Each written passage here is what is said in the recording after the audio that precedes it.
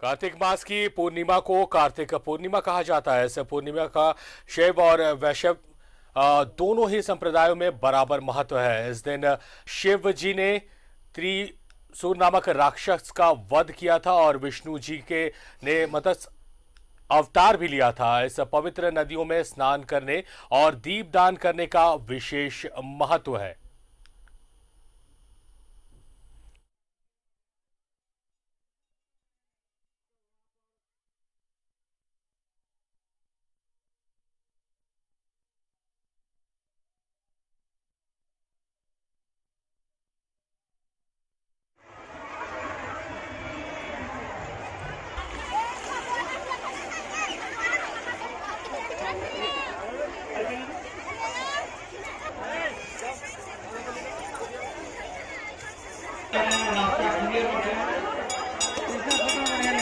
तो वहाँ पर कार्तिक पूर्णिमा के मौके पर रजरप्पा के माँ छिन्मस्तिका मंदिर में उमड़ी श्रद्धालुओं की भीड़। सैकड़ों श्रद्धालुओं ने नदी में स्नान कर सुख शांति की कामना की।